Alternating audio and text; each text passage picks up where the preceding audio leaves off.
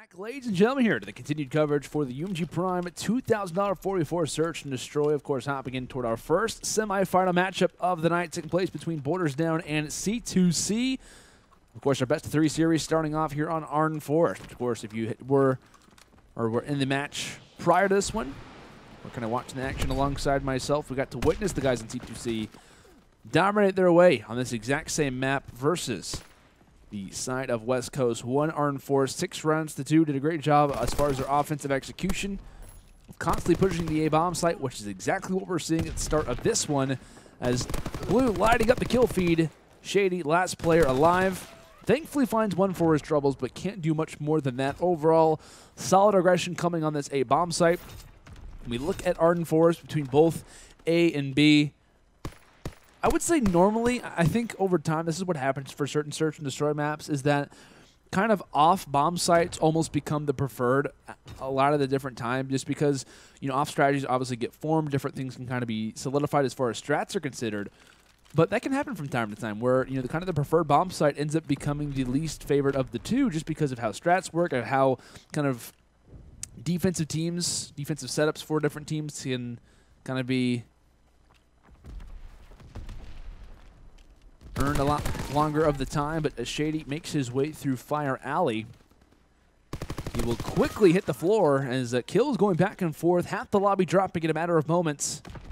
As now Eddie Mystical sitting just inside of you alongside of his teammate Lispzeus just behind him. They're looking to try to retake on this side, but Lispzeus has no issue whatsoever going for the challenge. This is the guy who played incredibly solid in the last series and really was the big difference maker into progressing C2C to the current semifinal. Haven't been able to watch the guys from Borders down, but I know they've been playing against some pretty stiff competition. I want to say I actually took down uh, Goatism and Believe's team in one of the uh, prior rounds to this, which is by no means a uh, easy team to beat by any means. And I'm not going to lie, I'm actually kind of new to the, the group here on Borders Down. I think I've seen this team name before, but just never had the opportunity to cast over these guys. But uh, Remarks, Tragedies, I want to say that's Dave Paid and uh, Shady. My personal first time being able to watch these guys play, and we'll see how Tragedies can try to find himself in the 1v2 spot, seeking out Eddie Mystical just inside of Fire. So with a man advantage right now, Lispzeus does make the 1v1 challenge, which normally would be pretty risky. But this guy's feeling on top of the world tonight. I'm not sure what it is about his PPS 8 shot, but it has been just on fire. As uh, in that round, he does find the hat trick, aka three kills, along with a defuse. So got to be feeling pretty solid. As uh, now moving forward into round number three. We'll see how the guys from Borders Down can start to try and respond because now they're on defense. They know what exactly happened in the prior round where it was just kind of a dominance push toward A. It seems that it's the exact same strat. Smoke tossed out to kind of block out the vision for the players inside of back stacks. Hitman and Segatar combining for two off the start as they are just paving their way through Forest, having no issues whatsoever. As of course the viewers alongside myself got to witness their dominance on this A-bomb site in their prior series as I believe the bomb just does get planted, so that score streak kind of earn rate does get added to it. And Hitman here seals the deal. As it, I mean, really it's just been kind of like a whitewashing off the start. As in back-to-back -back offensive pushes. Like I said, C2C. Utterly destroying it. It looks like uh, we do see yet again uh, another spawn out potentially. It looks like uh, Dave Pate joins the other team for a moment. And so it looks like we are going to close things out here. Back, ladies and gentlemen. I know in esports it's typical to say a quick commercial break, but this time it's actually valid. Of course, we just head to a uh, quick break to try to get all players back in the lobby. Things are good to go, and we should be playing from a 3 to 0 scoreline in favor of C2C. Of course, before the commercial break, it was just overall dominance that was displayed, uh, to say the least, as it was just kind of a kind of overtime back-to-back -back offensive pushes from C2C were made toward this A bomb site. And uh, now for Borders Down, right? They have the opportunity to kind of slow things down. They have the uh, spot as Lispzeus just happens to take out one player with actually a stun, which you don't see happen very often. That's uh, not a one in a million play, but definitely one that is not happening often. But uh, as now Shady quickly in a 1v4 spot, does thankfully take down, or take down Hitman. talk about positives, how they can kind of rejuvenate themselves, try to get back in this game. But just coming around that side fire alley, Segatar is ready with a Kar 98K shot to the brain. There's a beautiful shot coming in from Segatar along with, with the headshot sound. It's also the, the dinner bell with the 4-0 uh, victory currently or 4-0 lead. Almost a victory at this point. But uh, we'll see what the strategy is. Of course, it looks like from the offense, a smoke toss through middle. So what that's going to do is going to linger out Shady. Thankfully, the smoke wasn't tossed in the best line of sight. So he does have the advantage of giving the call out toward his team. I think it's a little bit late because his teammates basically get ran through. Shady with the bar in hand isn't able to make much happen. And now Dave Paid, good luck, my, my, my friend. Good luck, my pal. I, I almost feel like I'm attached to the guys on Borders Down just because of how dominate the opposition is right now. But generally, I mean, C2C is just having their way in this series. I mean, they have the advantage of, of course, dominating on the A-bomb site, so Borders Down is constantly thinking of that. So they've got that to be worrying about in the back of their minds, along with the fact that a smoke gets tossed through middle, which is kind of like a a stale moment where the defensive team is like, okay, where are they going? Like they could either be pushing A or B when you toss the smoke in that exact position. I think Shady was able to kind of spot the kind of ending corner, but he was able to spot the players rush through you, but his teammates just didn't get the call out soon enough. And they end up dropping in the end for it. But two picks found off the break. Dave Paid finding one onto Eddie Mystical. So at least one positive for them right now. But as the bomb gets planted, Lispzeus is coming from the flank, and he actually does take down Shady. So you see player number three actually immediately focused toward the flank. So they've got a pretty nice setup right now. And what they really need to focus on is just either point of view Segatar is able to drop one. And you keep in mind, bottom, rep, bottom right of your screen right now, how close this man is to streaks. Well, it would be a uh, round of sacrifice. They've got a few to work with, so I don't think they're in a, they're in a bad spot by any means. I don't think they have uh, any issue with kind of trading out this round. But right now, look at Segatar's point of view. He has a fantastic line sight on to Dave Paid, as he had no idea where that sniper bullet came from. And right now, Tragedies. His name, his gamer tag could be living up to the exact same title as tries to round the corner. Segatar will narrowly end up dropping, but still earns the streaks. Fantastic shot coming in from that man there, Segatar. Great job with the line side as that player instead of B-Dom had no idea what hit him.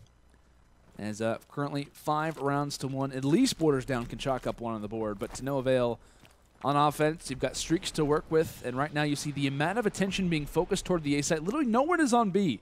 Three players in A, one through mid, and now you're going to see those blue arrows kind of focus in. And what Hitman is doing is he's just trying to act as a distraction. He's just firing those FG bullets, trying to count out the opposition. And so once the blue arrows or excuse me, not the Blue Arrows, but the Borders Down group, they should realize the streak comes forward. That's to clear out the B bomb site. I mean, they are fully aware that the players from the from uh, Borders Down could be using Mountain. So kind of like the blind glide bomb gets put in, and when they all kind of rush inside of Cabin, they should realize that, hey, that streak isn't meant for us. They think that we're actually on the B-bomb site when we're actually not, and they don't make the rotation fast enough. The smoke gets tossed out through B through B Dom, and I'm pretty sure that's Borders Down. He tosses it. But how does the retake get made? Dave Pate stares at the bomb, realizes there's not a whole lot of time left, but the players from C2C, they're separated throughout the entire map. You see the lane focus. As here comes the glide bomb. Player currently on it. Can he stay alive is the question. No, ends up falling. Last player up is Dave Pade. Finds one for his troubles, but can't do much more than that as a hot 6-1 victory here on Arden Forest. And C2C is much as they dominated when it kind of came down to the A-bomb site. It's kind of the exact same way that the overall scoreline does show it. So, of course, I believe we're going to take a quick look here at the, uh, of course, scoreline as far as the round counts considered for this map. As we get to witness, I believe uh, a little bit wrong there. No, no worries, no worries. We can obviously come back to uh, myself whenever, whatever may, may be needed. But uh, regardless, though, when it kind of came down to this beginning, right, for C2C, just overall dominance was being shown. I think it's fair to say. Of course, we do get the restart at the end of one of the rounds and whatnot, but the kind of initial rush toward the A bomb site. I mean, when you're a team like Borders Down and you're just kind of being dominated on the A bomb site time after time after time, that kind of messes with you on defense because now you're like, okay, well, at any moment they could be kind of anti-stranding us and being kind of forcing a bait toward the B bomb. But what was awesome about C2C is they realized the advantage that they were holding throughout the entire game of Search and Destroy. They realized the kind of the kind of early dominance that they had, and they worked that through a strategy. It wasn't like, hey, let's kind of continue the exact same thing as time goes on until they can kind of counter us. A lot of teams like to do that. What they did is they kind of played it was like chess versus checkers essentially was what was kind of going down in that game. Constantly a step ahead of the opponent and really was just kind of time after time after time dominating them when it kind of came down to that seventh round where they kind of called checkmate and just kind of walk through the side of Borders down. And like I said, just the overall kind of smart play, the ability to kind of utilize those streaks in a smart position. I can't remember who it was exactly, but in that seventh round where we witnessed one player sitting inside a bunker, all he's doing is just baiting out shots. I mean, every bullet is making the guys from Borders down think that, hey, a push is happening toward cabin. And you kind of see how, not like worried they really were, but just how aware they were of what was kind of taking place throughout a lot of this game. The factor of how important A bomb site was, they send three on A, one through middle, no one inside of B. Like the streak comes forward, and I think whoever might have called it in I'm going to say that was actually Segatar who ended up finding that insane sniper kill uh, toward the end of that sixth round. I mean, once he finds those streaks and starts to call them in, I think he's like, oh, wow, I didn't actually find anyone. They don't actually have anyone toward back B. Let's get the bomb down, and they obviously work with it. So just overall, smart play coming in from C2C with a dominant victory like that. You got to imagine they're carrying in that momentum towards some London docks, of course, for map number two. And uh, when it kind of comes down to London docks, we expect very fast-paced rounds. If we know anything about C2C, at least in my opinion, A from Arden Forest kind of performs exactly like A on London docks as well. Fast-paced, you need a smoke to kind of get toward it. There can definitely be a sniper or a, kind of like an FG42 in the back lines from either position to kind of cut you down. So I think the strategies from C2C are definitely going to kind of carry over, and I'm hoping to see the guys from Borders Down start to respond a little bit better. Kind of finding a pick, finding a first blood, but it's really going to kind of come down to their offensive rounds where they really need to kind of have a little bit more of a presence because on defense they're struggling. They have to kind of have either someone turn up or just kind of have an overall team effort if they want to at least see a map number three, which of course would be on USS Texas. But guys, back, ladies and gentlemen, to the continued coverage here for the UMG Prime $2,000 484 Search and Destroy. Of course, loading in here toward mat number two of our current semifinal taking place between Borders Down and C2C. Of course, speaking in mind, this is a best of three, so one game away is C2C from, of course, advancing themselves to the finals after having a pretty dominant victory on Arden Forest, winning that one in a 6 to 1 fashion. But now loading in here for some London Docks, while the maps do have some similarities, they also have their differences. I was kind of discussing the dominance that the guys from C2C really had on specific bomb sites when it came down to Arden Forest, and uh, really Borders Down has to kind of focus on their offenses, really kind of get some support underneath it.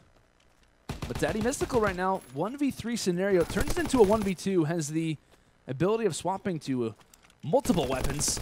Is that variant in his left corner? I, I'm not even going to try to pronounce that, to be honest with you. I think that's actually a different gun. But still, tries to go for the challenge and takes down Shady on the bomb. 1v1, and right now, Dave has got to be feeling very, very nervous right now and goes for the challenge. Eddie Mystical going to let him know a 1v3 just when you start to think that Borders Down have got the momentum back at their side here for map two. Eddie Mystical is there to wave his finger and clutch this out. What a round coming in from the boys on C2C. I mean, heck, it's not even C2C. It's Eddie Mystical's game at this point. And that is one where you start to think, like I said, borders down, they're feeling pretty good, and just Eddie Mystical is there to just take the energy out of the room. Smoke tossed toward the B bomb site. That's a bait. And it looks like player number two, being Dave back here, of course, losing that last big engagement. Going for the early shots inside of 10. And March holding a nice line sight here through that top side as shots continuing to go through. No one dropping as of yet. That quickly could change, though, with Segatar firing some bullets forward. Lisp Zeus, the aggression can be shown. Segatar ends up following quickly. Eddie Mystical does as well. If we know anything about this man, Lisp Zeus, especially for tonight's tournament, he can quickly turn the tide on a game. Hitman coming from the flank, takes down Remarks. His position is no, but you see him just going for the challenge. You're not going to see players go for that very often. But the reason why he does is he's got the confidence. And who wouldn't after a big round victory that just came through for Eddie? As Hitman takes down Tragedies, it's now a 2v1 advantage right now for the guys on C2C. Shady gets spotted out. A 1v3 clutch in round one and a 2v3 clutch in round number two. And as Hitman and Lispzeus are able to get it done here. And right now, like I said, if you are the guys from Borders Down, it's a matter of someone needs to kind of take control, get some strategies formed, get a pick, and really just kind of work off of it. But make sure that they take down every single player. They can't have constant 1v1 challenges, which is exactly how we've seen these picks go. As Segatar greets remarks with a headshot, says, "Welcome to round number two. I'll see you, or round number three. I'll see you in the next one."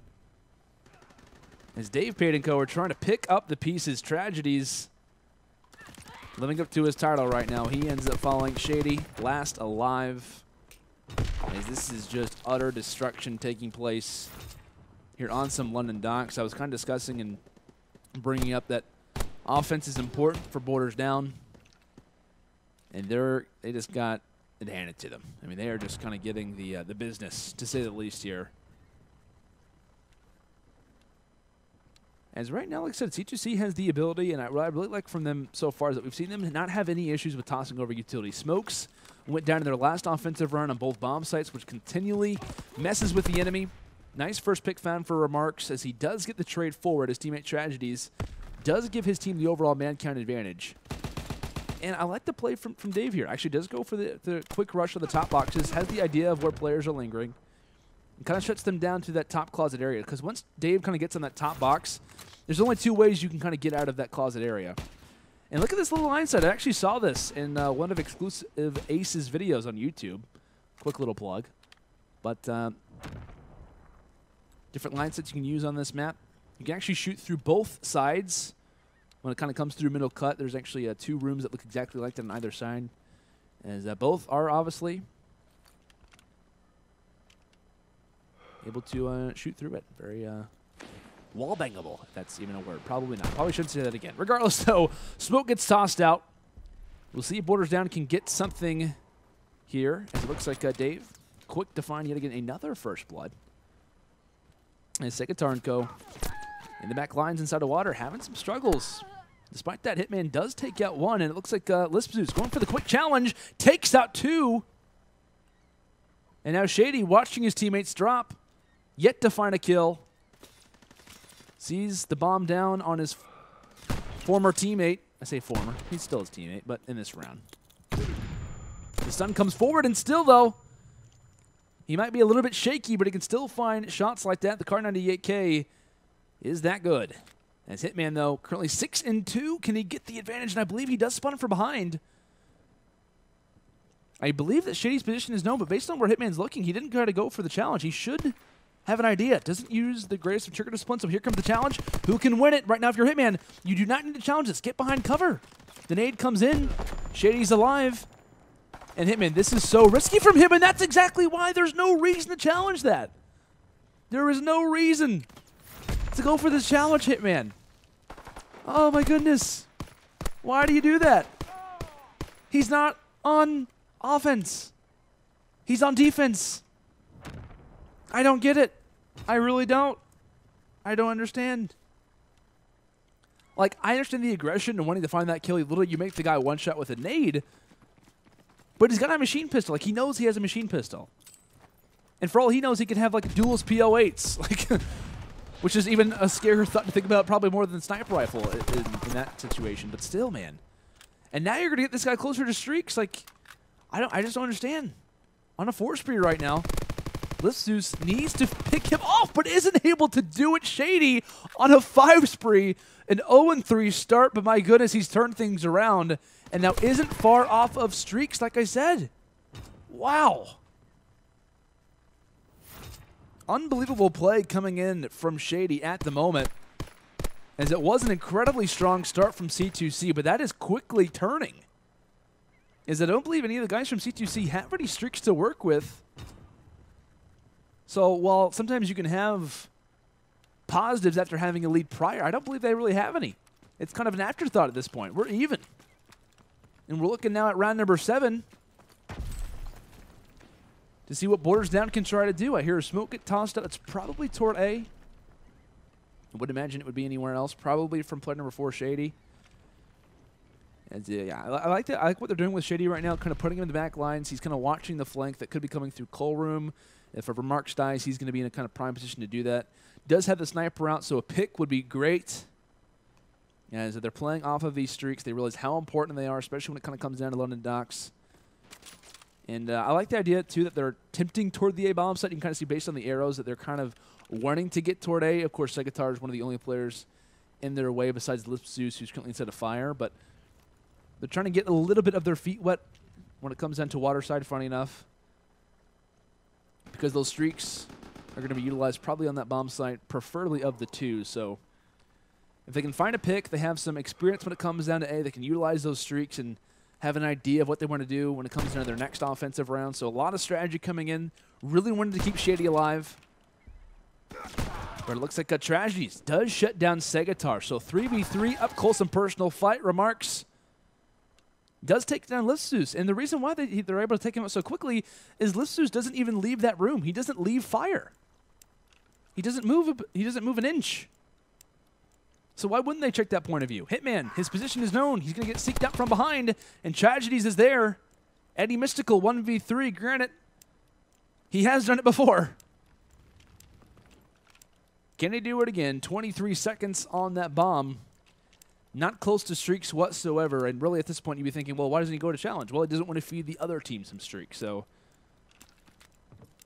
he's going to check a few corners, try to spot anyone he can. And right now, their primary goal, just keep Shady alive.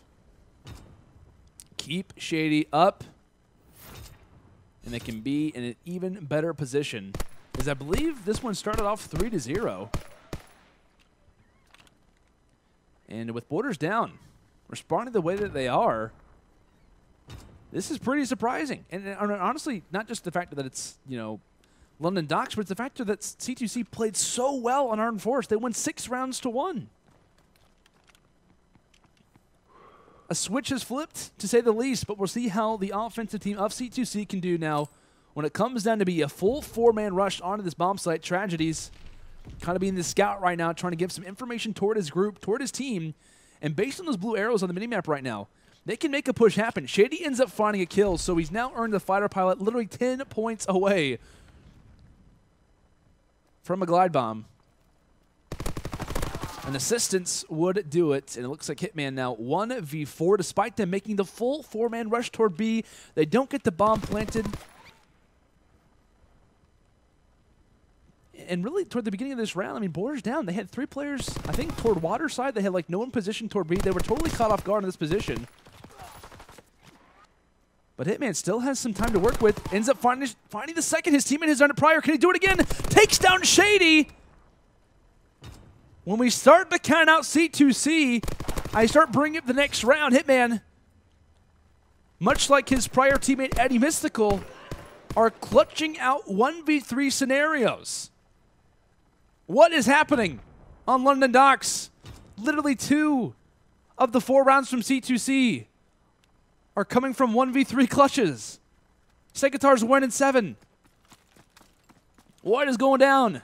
We're level at four, heading into round number nine. C2C still with the series advantage at 1 to 0. Only needing two more rounds here on London Docks to close out this series and advance to the finals. And I want to say, if we can actually go with Shady really quick, I want to see, did he earn that streak? So no, didn't earn those 10 other points. Didn't think he did, so does only earn the fighter pilot. Despite that, though, had a fantastic run. I mean, I think he was on like a five kill spree at one point, so massive props to him. But it is going to call in the fighter pilot here. So using it on the offense, of course, we're going to see it looks like three players not having that mountain class, so the position is known. With Zeus still currently residing inside of fire. Looks like a fight going down. Segatar wins a huge one, dropping down Shady. So 3v2 advantage right now for the boys on C2C. Tragedies and Remarks trying to pick up the pieces. Eddie Mystical in the back lines. I love this play from him. Trying to just bait out, waiting for his teammates to join alongside of him. Maybe trying to bait towards streaks for his teammate. Remarks able to drop one. Lisp Zeus is there for the trade as Tragedies 1v2 is not able to find it. Drops on the bomb. Back and forth we go, and just like that, map point along with series point is earned here for the guys on C2C, aka Coast to Coast.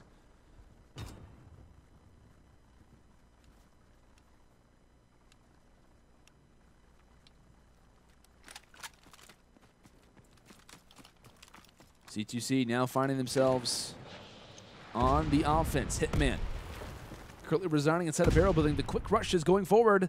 The stuns are in. And look at this. Dave has found himself in a very sneaky spot. And he does actually get spotted out. I'm not exactly sure how they knew he was there. Just the intuition of their search and destroy play has revealed him. Potentially dropping down tragedies, but he's able to win it just like that. Two kills go their way. Shady falls, and now it's left up to tragedies. And a 1v2 spot needs the hat trick to force the round 11. Bomb is getting planted from Lisp Zeus. Has no issue getting it down.